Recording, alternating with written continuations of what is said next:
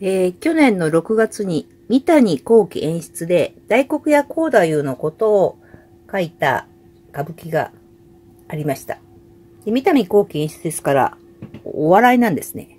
ですから、あのもういろんなとこにクスクスや笑いが起こるんですけど、もう最高に笑ったのがこちらです。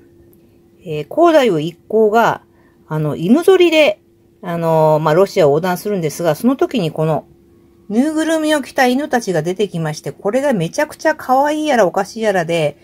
もう、ガハハという領域にたいなるまで笑いました。こんなに歌舞伎座で笑ったことはないです。いやいや、あの日が懐かしい。めっちゃ可愛かったです。